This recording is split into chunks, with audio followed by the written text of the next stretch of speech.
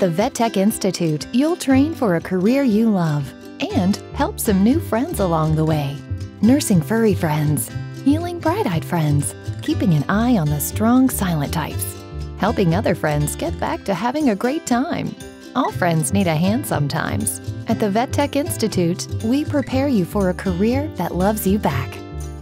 Schedule your visit to the VetTech Institute today.